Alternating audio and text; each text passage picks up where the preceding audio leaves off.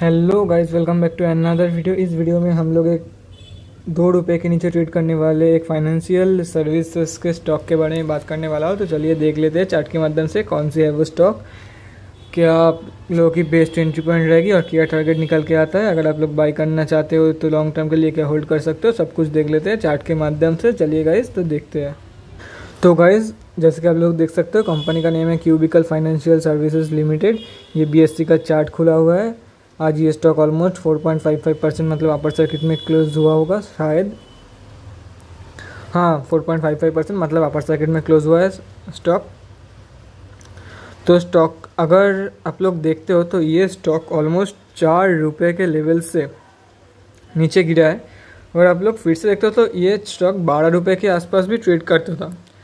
लेकिन maximum time ये stock अपना जो लोअर सर्किट या अपर सर्किट है उसमें ही क्लोज होता है मैक्सिमम टाइम अगर आप लोग देखते हो तो यहाँ पर पूरा जो dot dot dot dot dot मतलब ट्रेडिंग 90 परसेंट टाइम आप लोग यहाँ पर बंद ही रहती थी तो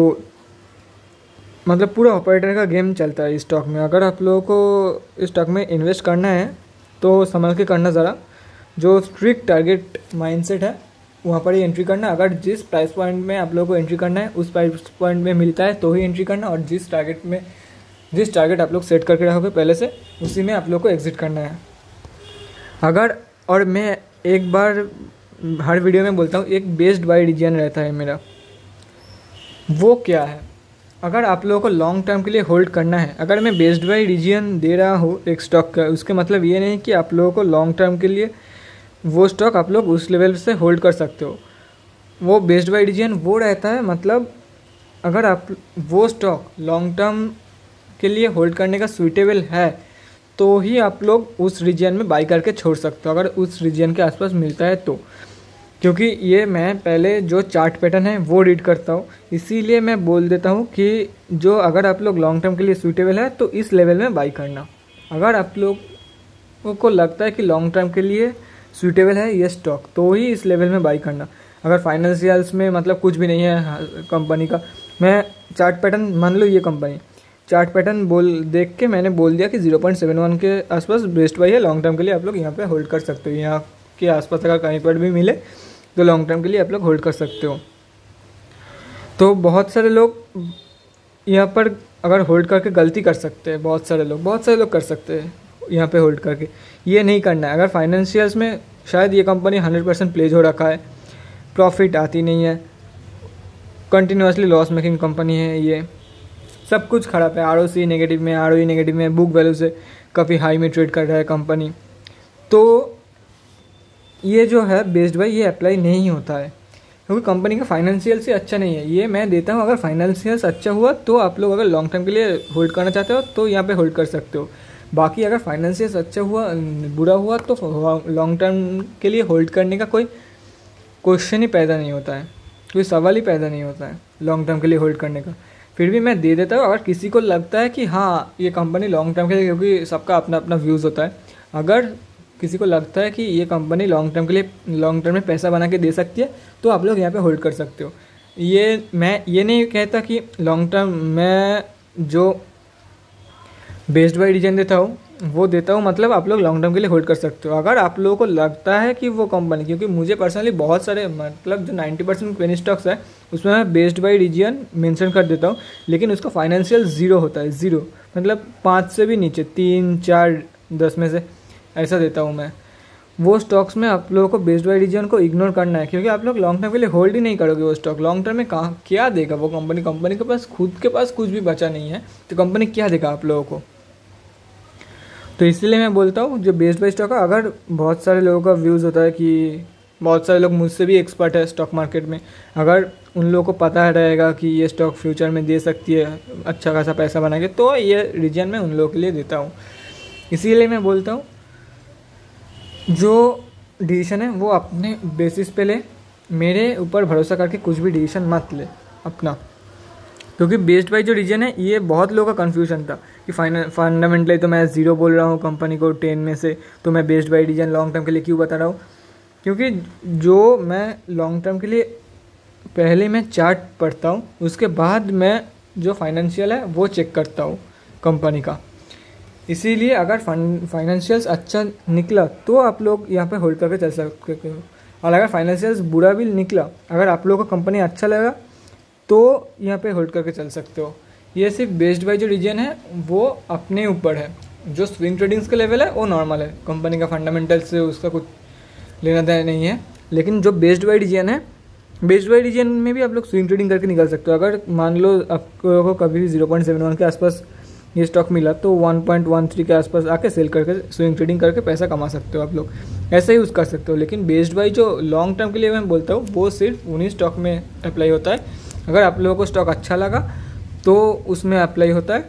और अगर फंडामेंटली फाइनेंशियली बहुत ही स्ट्रांग है कंपनी तो आप लोग बेस्ड वाई अप्लाई होता है लेकिन मेरा फ़र्ज़ है हर किसी कंपनी में बता देना क्योंकि कौन कैसा सोचता है ये किसी को नहीं पता अगर आप लोगों को अच्छा लग गया कोई स्टॉक बहुत आप में से बहुत लोगों को अच्छा लगेगा शायद कोई स्टॉक उसका बेस्ट बाई नहीं बताया तो बहुत लोग मुझसे पूछते हैं पर्सनली कि इसका बेस्ट बाई क्या रहेगा अगर मैं लॉन्ग टर्म के लिए पर्सनली होल्ड करना चाहता हूँ तो क्या पॉइंट रहेगा इसीलिए मैं बेस्ट बाई दे देता हूँ तो चलिए ज़्यादा बातें नहीं करके लेवल्स बता देता हूँ कम स्टॉक का अगर आप लोग को 1.13 के लेवल्स में मिलता है तो 1.88 के लेवल्स तक आप लोग होल्ड करके चल सकते हो जिन लोगों का होल्ड जिन लोगों ने अपना होल्डिंग्स बनाए हुए रखे हैं कम स्टॉक में 1.88 के पास क्विट करके प्रॉफिट बुकिंग करके जा सकते हो आप लोग और एक चीज़ अगर आप लोगों को लगता है कि ये जो नेक्स्ट टारगेट 2.85 का निकल के आता है इसके आसपास कंपनी का स्टॉक जा सकती है तो आप लोग यहाँ पर एक बार प्रॉफिट बुकिंग करके अपना जो इन्वेस्टेड कैपिटल है टोटल इन्वेस्टेड जो कैपिटल है वो निकल लेना और उसके बाद जो रेस्ट प्रॉफिट है वो यहाँ तक रहने देना है 2.85 के आसपास अगर 2.85 भी क्रॉस करके ऊपर जाती है तो नेक्स्ट टारगेट निकल कर थ्री पॉइंट नाइन सेवन के तो डिलीवरी क्वांटिटी एक बार चेक कर लेते हैं कंपनी का क्या निकल के आते हैं कंपनी का डिलीवरी परसेंटेज और क्वांटिटी तो ये आप लोग देख सकते हो ये आज का डेट है और क्यू बी फिन अगर आप लोग को यकीन नहीं होता तो मैं फिर से दिखा देता हूँ ये आप लोग देख सकते हो क्यू बी फिन का ही खुला हुआ है chart Q B fin financial services बहुत लोगों को यकीन नहीं होता है मुझे डीएम करके के पूछते ये शायद गलत बता दिया आपने मुझे ये नहीं पता कि क्यों बोलते हैं वो लोग अगर आप लोग खुद बी एस मुझे गलत बोलने से पहले बी एस सी के वेबसाइट में जाके एक बार चेक कर लेते हो तो आप लोगों को खुद को ही तसली हो जाएगी कि मैं सही बोलता हूँ हमेशा क्योंकि मैं जो होता है गूगल जो बताता है और जो वेबसाइट बताता है वही मैं बताता हूँ जो आप, आप और उसके साथ मेरा व्यूज़ ऐड करके बताता हूँ मैं खुद मैं खुद कुछ रिपोर्ट्स नहीं बनाता हूँ खुद से तो चलिए देख लेते हैं एट्टी परसेंट के आसपास डिलीवरेबल क्वांटिटी निकल करता है जो कि निकल करता है तेरह लाख क्वांटिटी तेरह लाख क्वांटिटी के आसपास माल लोग सी में घर लेके गए हैं आज तो एक अच्छा खासा ट्रेडिंग हुआ है आज और अपर सर्किट में क्लोज भी हुआ है तो चलिए क्वार्टरली रिजल्ट भी एक बार चेक कर लेते हैं कंपनी का ये आप लोग देख सकते हो cubicle financial services is engage in the business of non banking financial activity तो चलिए मार्केट कैप देख लेते हैं मार्केट कैप निकल एट पॉइंट 8.6 करोड़ का R O C two point one four R O E one point six one book value two point zero two two book value से कभी सस्ते में मिल रहा है अपने फिफ्टी टू वीक लो के आसपास ट्रेड कर रहा है compare to the fifty two week high तो चलिए प्रोज एंड कॉन्स देख लेते हैं कंपनी का company is almost debt free stock is ये तो मैंने बता ही दिया ये बहुत ही एक अच्छा है ये तो मैं कभी भी कॉन्स में नहीं पकड़ता हूँ तो प्रोमोटर होल्डिंग इज़ लो चलो वो भी ठीक है उतना ज़्यादा कुछ खास नहीं है promoter holding is low company ने बहुत ही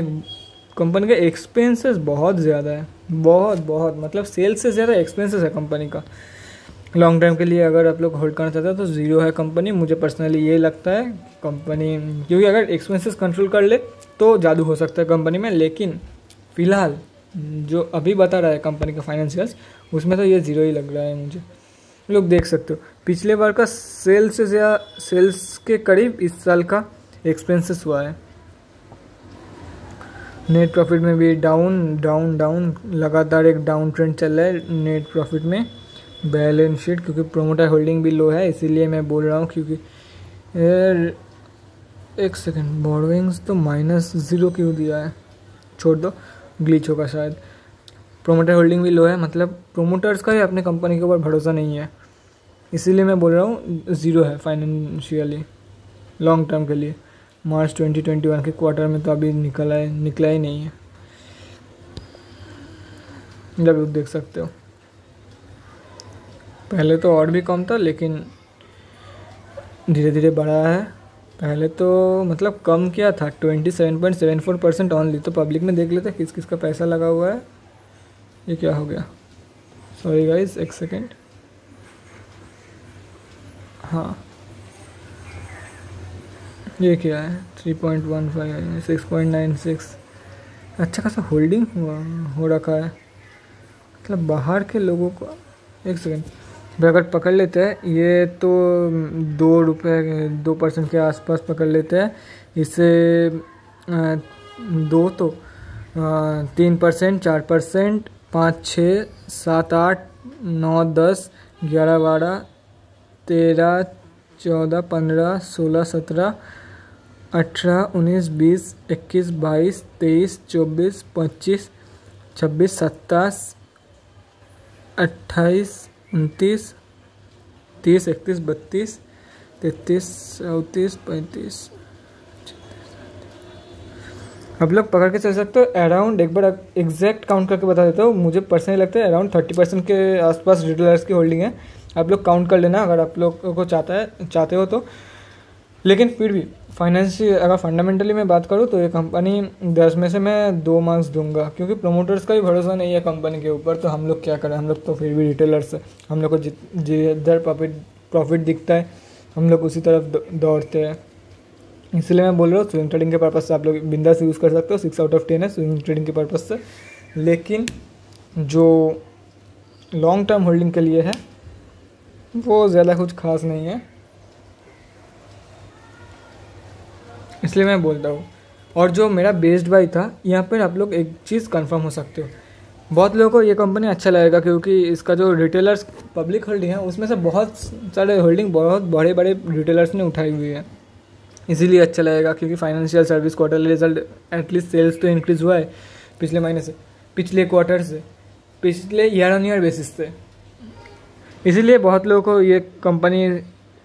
जो लॉन्ग टर्म के लिए अच्छा लग सकता है